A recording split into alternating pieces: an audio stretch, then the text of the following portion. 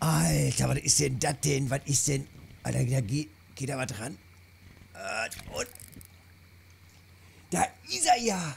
Der erste Langnasen-Saugdöbel, Alten.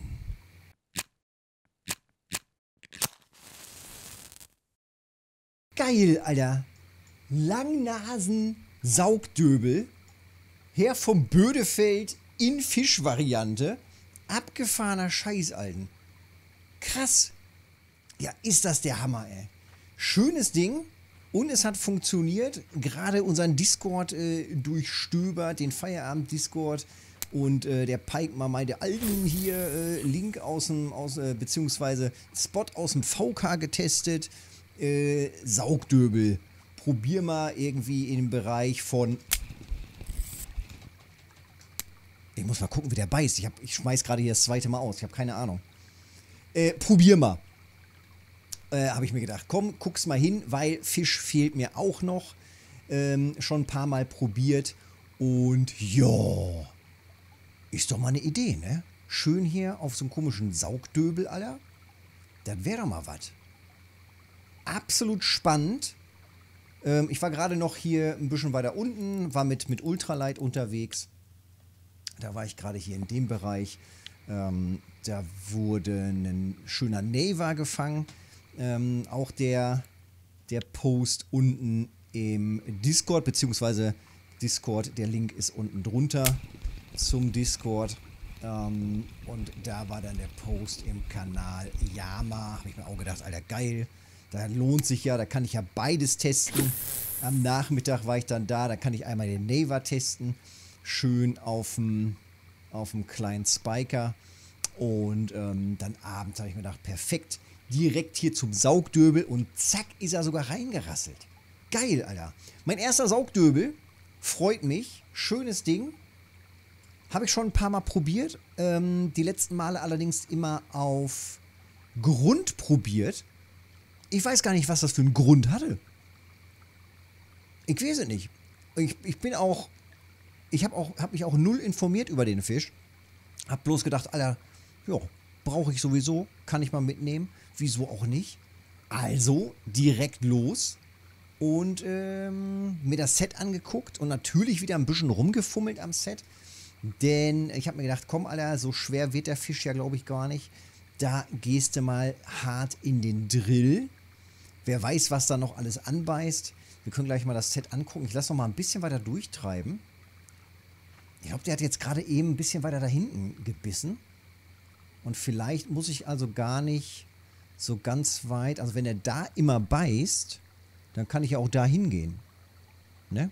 Also ein bisschen weiter vor. Jetzt guck mal hier. Und gehakt. Und gehakt. Also wenn das wirklich der Fall ist, dass er hier beißt, dann merke ich mir jetzt ja hier die Stelle. Werft gleich bei 102, 164. Werft da gleich ein bisschen... Ne, eine olle Quappe. Werft dann da gleich nochmal ein bisschen weiter vielleicht. So. So, aber jetzt können wir mal kurz auf Set eingehen. Ich habe mir gedacht, allen, ähm, wenn er mit Pose gefangen wird, dann nimmst du natürlich die Match. Ich habe Match geskillt. Ich habe hier extra Points für die äh, Match-Montage drin. Ich habe ähm, eine ganz dünne Schnur genommen. Passt 700 noch was Meter drauf hier auf der Kaliber, auf der HSV. Und äh, ich habe eh noch 450, also 450 Meter hätte ich jetzt Platz. Ich habe einen 2,8er Micro-Braid genommen. Ich gehe hier super fein rein. 2,8 Kilo Micro-Braid. Micro mein geliebtes Micro-Braid. Ähm, ja, 0,04 Millimeter dick. Lieber mal aggressiv in den Drill gehen und lieber mal wirklich halt super zart rangehen, aber dafür halt die Chance haben, äh, was richtig Geiles zu fangen wenn da irgendwas viel zu dickes reingeht und wenn da irgendein, weiß ich nicht, was da reingeht. Da müsste schon irgendwas Mächtiges, ob da irgendwelche Lachse reingehen. Ich meine, ich habe jetzt hier gerade Steinfliege und Tauwurm drauf. Ich weiß es nicht. Vielleicht kann man auch noch irgendwelche anderen äh, Köderkombis testen. Ich muss gleich mal gucken in den Rekorden. Ich habe noch gar nicht reingeschaut ob es da noch irgendwelche anderen Köderkombis gibt, die vielleicht auch noch funktionieren. Wisst ihr was, das machen wir mal als erstes. Ähm, ja, das ist halt die große Frage, ob diese Köderkombis auch noch andere Fische triggern. Dann stehe ich hier mit runtergelassener Hose. Denn dann ist ein 2,8er halt wirklich tricky, ne? Wo ist er denn, der Saugdöbel? Langnasen-Saugdöbel. Guck mal hier, komplett mit Tauwurm. Tauwurm-Grashüpfer. Mistkäfer. Mistkäfer, okay. Mistkäfer. Mistkäfer. Na, das ist doch mal eindeutig. Das ist doch mal eindeutig. Das ist geil. 2, noch was Kilo. Na, guck mal. Und ich habe ein 2,8er Vorfach. Heißt also, ich bin komplett im positiven Bereich. Was ich gemacht habe, äh, Pikemar hatte im Discord gepostet ähm, einen Sechserhaken. Habe ich mir gedacht, komm, aller Sechserhaken, Lirum Larum, aller Vierer drauf. Direkt den Vierer drauf. Wir wollen die dicken Dinger haben. So, Mistkäfer raus. Zwei Meter Tiefe ist hier eingestellt. Ich werf, ich habe hier keinen Clip. Ich werfe jetzt hier so aus dem Schisselameng einfach mal so raus. Bisschen Schnur straffen. Und ich warte ab. Ich bin gespannt. Ich bin echt gespannt. Super geil. Das macht es natürlich für mich nochmal super äh, aufregend. Ein Fisch, den ich halt vorher noch gar nicht hatte. Das ist halt immer richtig geil, ne? Das ist halt richtig geil. Und weil, also mehrere Komponenten. Einmal ist es geil, keine Ahnung, wie er beißt. Was hat er für Bissverhalten? Ähm, Gerade hat er so ein bisschen so eine Art Hebebiss und die Pose wackelte so ein bisschen rum als ob er das wirklich angehoben hat. Hat aber die Quappe auch gerade ähnlich gemacht, die Kleine. Ne? Die hat auch eher angehalten. Die Pose wackelte eher so ein bisschen rum. Was halt das erste Signal war, dass hier unten die Meldung Treibangeln, die war weg. Und das ist natürlich ein, ein gutes Argument. Das heißt, wenn ich hier jetzt gerade mit dem Treibangeln ähm, oder ein guter, guter Anhaltspunkt ist es einfach. Wenn das, wenn das Treibangeln weg ist und ich kann dann einschlagen direkt und habe vielleicht dann auch wirklich den Biss, das wäre halt ein richtig geiles Zeichen. Was ich mir natürlich jetzt schon direkt überlege, ob ich nicht direkt hier ne, mit zwei Posen zweimal Match rausballern, ähnliches Set und ähm, doppelte Chance. Ich meine, so viel, so, so viel Frequenz ist ja jetzt hier nicht gerade. Ne? Ich ziehe nochmal weiter, gehe nochmal wieder ein bisschen hoch. Ich stand ja gerade irgendwie hier bei 100 ungefähr oder hier so. Passt das? ich glaube hier so, irgendwo bei, ich glaube hier so ungefähr stand ich, ja. Ich werfe noch mal ein bisschen weiter. Und dann gucken wir gerade schon mal eben nach dem zweiten Set. Da könnten wir uns hier die Rebellion Match auch noch nehmen. Die ist sogar auch noch ausgerüstet. Siehst du mal. Machen wir hier auch noch mal schnell 450 Meter drauf. Auch hier das kleine Mikrobrett. Hier lassen wir die Achterschnur, äh, den Achterhaken mal drauf. Und hier nehme ich dann mal einen Grashüpfer. Wobei halt, wie gesagt, Steinfliege gerade schon funktioniert hat, ne?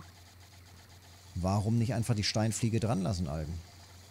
Das ist es. Immer das Gleiche, Alter. Ich, ich versau mir auch immer selbst meine vollen Kescher, weil ich immer wieder rumprobieren muss. Kannst du nicht ausdenken, ey. Immer das Gleiche mit dem. So, zweite Route ist draußen. Alter, ohne Scheiß, mir schmeckt das gerade aber so richtig, ey. Ich sage dir. Das ist geil, ey. Das ist geil. Saugdöbel. Ich meine, gut, wir sind ja am Yama. Das ist jetzt vielleicht nicht unbedingt was für jeden. Am Yama muss er auch erstmal hinkommen.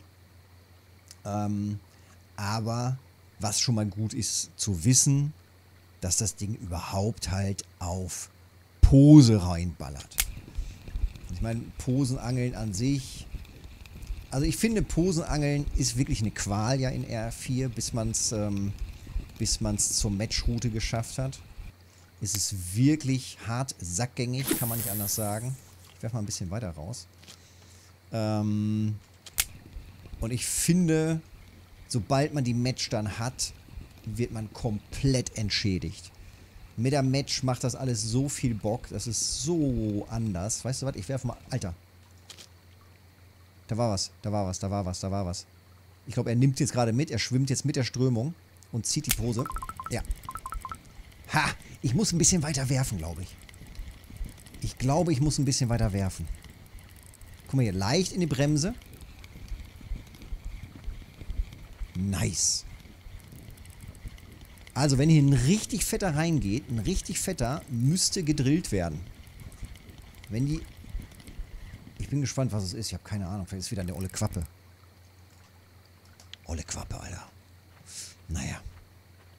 Ähm, genau. Entschädigung durch Matchangeln. ab der Match richtig sexy. Ich teste es ja gerade wieder mit dem, mit dem Posen-Account. Äh, war ich ja zuletzt auch wieder unterwegs. Und ähm, da habe ich mir da auch gedacht, Alter, was für eine Qual, ey. Was für eine Qual hier jedes Mal mit dem, mit der, mit der Bollo auch und sowas alles. Das Anschlagen, das ist so tricky. Man muss genau im Richt. Ich habe schon Sachen rumprobiert, Alter. Schnur flach halten, Schnur ganz hoch halten. Ähm, ich habe Schnur zugemacht und quasi wie mit der Stippe angeschlagen und was nicht alles. Alter, es ist so eine Qual. Links angeschlagen, rechts angeschlagen, nach oben angeschlagen mit der Bollo. Und trotz allem ist es einfach nicht so sexy und easy wie mit der Match. Absolut wild, ey. Und Match, Match ist fast wie Grundangeln. So easy. Es kommt der Biss, das Ding geht runter, du kurbelst ein hier mit Speed, brrr, ziehst ran und es, es hakt. Das macht's einfach aus und das ist einfach so geil. Weil ich meine, es ist ja eh, es ist ja eh schon ein bisschen tricky, sich sowas hier anzutun. Und dann, Alter, und dann hakt das nicht mal. Da kriegst du echt Plack, ey. Aber Leute, trotz allem, es lohnt sich, zieht durch. Jetzt war die Tage nochmal eine, eine Nachfrage, auch äh, zweimal sogar eine Nachfrage. Ähm, da geht einer ran auf den blauen. Zweimal eine Nachfrage im Team, im, im Discord bezüglich äh, Mittelklasse-Match. Und ich muss sagen, und ich da liebäugel ich tatsächlich vielleicht sogar nochmal mit, ähm, so eine Model One Match ist gar nicht schlecht, Alter. Die große, die XH Model One Match für gar nicht so teuer. Ich glaube, es ist irgendwas um die, lag die um die 1000 oder so. Ähm, wirklich interessantes Gerät, weil die so ein hohes Wurfgewicht hat. Alten. Und dann schön mit dem hohen Wurfgewicht, mit der Match und Köderfisch, ey. Das ist so die Idee. Ich habe momentan von den großen Matchrouten, die ich hier habe, ich habe ja eigentlich nur drei richtig dicke schwere. Und davon ist eben die Falcon Match die mit dem hohen Wurfgewicht. Auch sexy. Aber ich nutze, ich nutze zu 90%, 80%, sagen wir mal, die Rebellion Match, die Monster Match, äh, die Monster Match. Dann natürlich noch die Rebellion Match. Da ist auch gerade wieder was dran. Und ähm, ganz selten eben die Falcon. Ich weiß nicht, ob es so gut ist mit Zweien. Ich glaube, dieser Moment, wo die Unterbrechung kommt von diesem Treibangeln, ich glaube, den Moment muss man abpassen und zuschlagen. Ob das jetzt so die gute Idee ist, sowas zu machen, ich weiß es nicht. Der Pike hatte, ich weiß nicht, wie viel das waren, 10, 12, 10, 12 Saugdöbel oder was. Ähm, stand aber, glaube ich, zwei Nächte hier, wenn ich das richtig gesehen habe. Alter. Dran. Ui. Schneller Biss. Schnell runtergezogen. Ich habe keine Ahnung, was es ist. Und zieht auch noch ein bisschen ab. Ei, ei, ei. Auf 2,8 Kilo Microbraid. Okay, das ist das Maximum. Oh, oh, oh, die Schnur hart am Limit. Ich mach mal wieder einen runter. Wir gehen hier schön in den Drill. Lassen dem Fisch aber auch noch ein bisschen Zeit und gehen auch in den Blank rein im Drill. Ziehen lassen.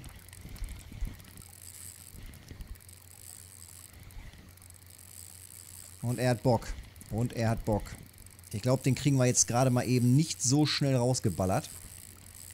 Bisschen hier runtergehen, also mit der Strömung dann lieber ziehen, dass der Fisch gegen die Strömung schwimmen muss. Ich sehe schon gleich, Alter, die Pose, die andere, die treibt gleich hier bis nach Madagaskar, ey. Ei, ei, ei. Alter, die geht auch unter. Die ist auch untergegangen, Alten. Wenn jetzt der Selbsthakt-Effekt kommt, Alter, dann, dann zieht er mir ab. Komm, Alter, komm ran hier, komm ran hier. Ich glaube, ah nee, ist nicht. Da ist sie wieder. Oh doch, da ist was dran. Alten. Der hat Bock. Ich vermute fast, dass es kein Döbel ist, Alter. Wenn das ein Döbel ist, dann richtig dicker. Aber im Moment... Aber ich habe gar keine Erfahrung mit dem Döbel, von daher... Keine Ahnung, Alter. Wenn du keine Ahnung hast, Fresse halten. Ich habe keine Ahnung vom Saugdöbel. Fresse halten. Wer weiß, was das ist. Wer weiß, was das ist. Tauwurm und Mistkäfer. Vielleicht ist es ein oller Keter, Alter. Schön 5 Kilo Keter auf 2,8er Microbraid. So ein Ding wird das. Warten wir ab. Scheiße. Alter, und wieder rein in den Drill. Guck mal, und da, da steht einer. Guck mal, der steht hier regelrecht. Der bremst sich die Pose aus. Guck, guck, guck, wie er am Kämpfen ist. Der hat ihn schon geschluckt. Der geht schon wandern damit. Alter, ich werd weich, ey. Ei, ei, ei, was ein Geraffel. Ei, ei, ei. Okay, das kann noch ein bisschen dauern. Ich bin mal gespannt, wie lange das dauert. Alter Falter, du kannst es dir nicht ausdenken, Alter. Du kannst es dir einfach nicht ausdenken. Jetzt bin ich hier quasi die gesamte Strecke wieder zurück. Ich bin hier quasi schon fast wieder am Camp. Und so langsam kommt er hier ran, der Brocken, ey. Was zur Hölle? Ah, oh, ah, oh, es war klar, Alter. Es war klar. Der Tante Kätchen kam vorbei. Ah. Wieso? Wieso? Das Kätchen. 2,2, 2,3 Keter Lachs auf 2,8 Kilo Mikrobraid. Katastrophe, Alter. Jetzt aber schnell einpacken und gucken, was an der anderen Route dran ist.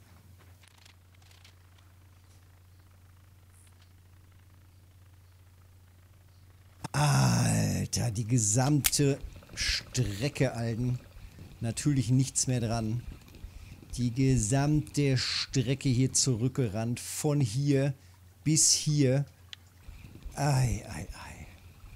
Naja, also, was war denn das nächtliche Ergebnis von dem Ganzen?